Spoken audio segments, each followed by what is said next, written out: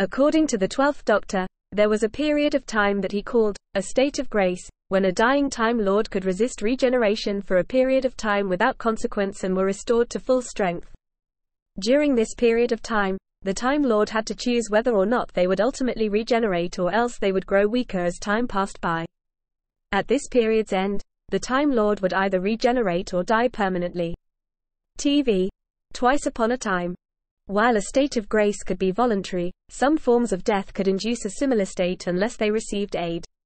When the third Doctor contracted radiation poisoning on Metebelis 3, TV, Planet of the Spiders, he spent 10 years drifting in his current form in the TARDIS before he finally died upon returning to Unit, Prose, Love and War, only regenerating with the aid of K'anpo Rinpoche. TV, Planet of the Spiders, the first Doctor, fearing the change, held off his own regeneration for several hours. However, unlike his future incarnations, the Doctor's face did not stay the same, becoming mixed up while in the state of grace. When the doctor regenerated, he passed out as his state of grace ceased. TV. Twice upon a time. However, his regeneration was comparatively peaceful compared to when his future selves regenerated after halting the process.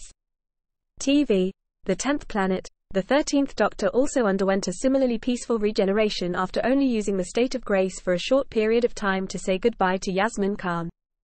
TV.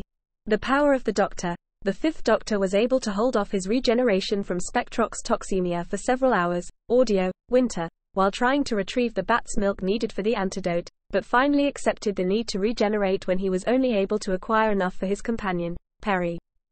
TV.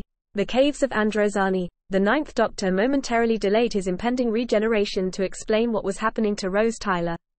TV.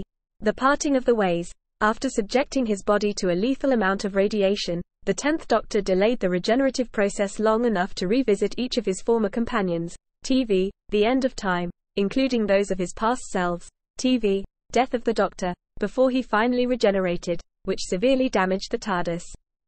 A few minutes before the regeneration began, his state of grace ended, causing the Doctor to experience excruciating pain, resulting in him collapsing to the ground, barely possessing the strength to reach his TARDIS. TV.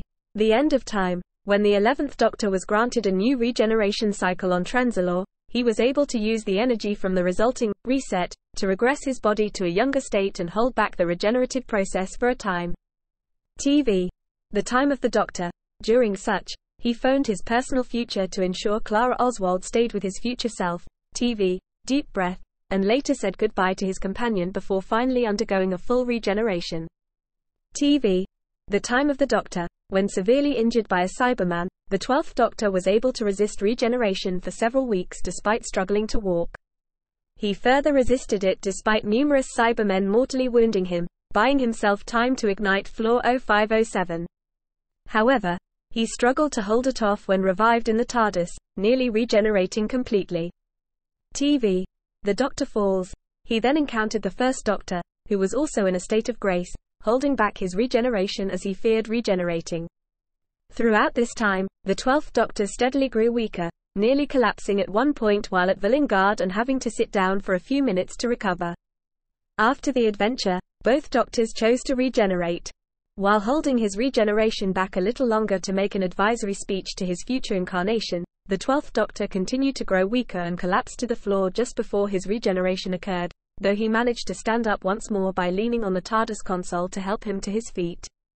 Similar to the Tenth Doctor's regeneration, the Twelfth Doctor regenerated explosively, causing the control room in the TARDIS to explode. TV. Twice upon a time.